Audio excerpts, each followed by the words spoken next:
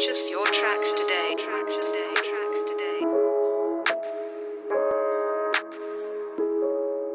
If you're shopping for a diamond,